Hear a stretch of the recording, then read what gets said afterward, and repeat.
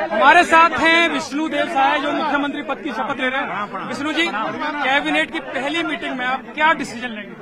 18 लाख प्रधानमंत्री आवास स्वीकृत करेंगे।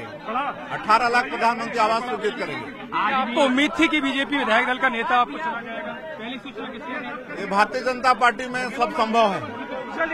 आदिवासी भारतीय जनता पार्टी से ही प्रभावित है। क्या लगता है भूपेश सरकार की हार किस बात पर होगी? भूपेश सरकार की हार का सबसे बड़ा कारण क्या मानते हो? भूपेश सरकार की हार का सबसे बड़ा कारण क्या मानते हो? उनका वादा खिलाफी। है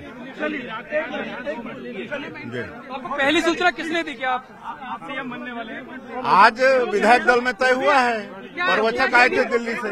ये शाह साय जो कह रहे विधायक दल में तब उन्हें पहली सूचना मिली और पहली कैबिनेट में वो आवास की जो उन्होंने जो आवास के वादे किए थे, वो आवास, प्रधानमंत्री आवास योजना और जो गरीबों के लिए आवास की योजना है, वो उसको देंगे।